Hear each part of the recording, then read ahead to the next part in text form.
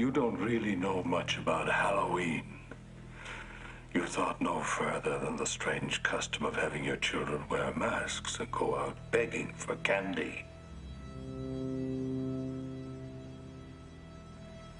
It was the start of the year in our old Celtic lands, and we'd be waiting in our houses of wattles and clay. The barriers would be down, you see, between the real and the unreal.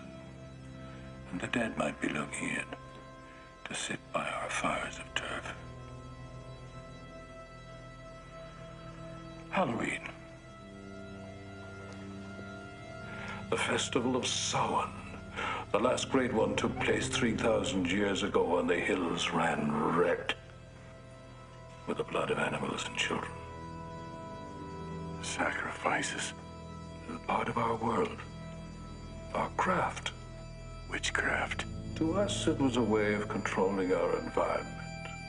It's not so different now. It's time again. In the end, we don't decide these things, you know. The planets do.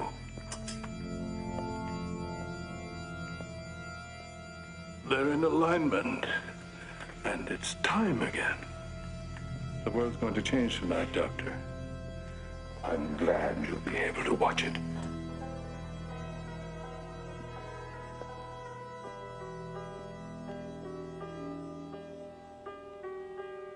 And happy Halloween.